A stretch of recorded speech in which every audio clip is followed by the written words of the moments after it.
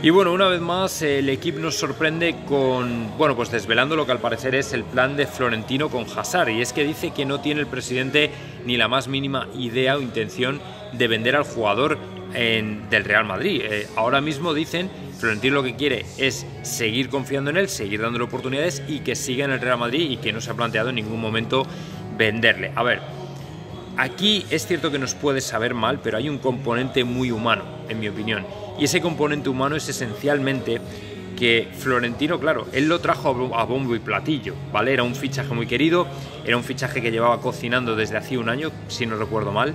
Y claro, cuando tú traes un fichaje de este tipo y a un jugador de este tipo y te sale como te sale, evidentemente tú te ves perjudicado de alguna manera. Entonces yo creo que lo que Florentino es lo que quiere es aguantarle un poco más para ver si suena la flauta y resucita, porque de alguna manera su imagen, su prestigio como presidente también está un poco en entredicho.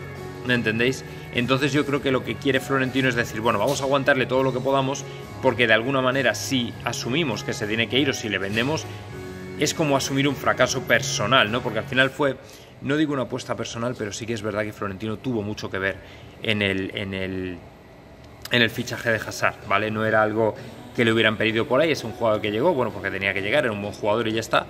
Entonces lo, que yo creo es que él no quiere del todo asumir lo que ha ocurrido, pues que es un fracaso, que al final el jugador pues no ha funcionado, encima pues no tiene la actitud que debería y que Ancelotti se lo está teniendo que comer con patatas y lógicamente esto no gusta a nadie.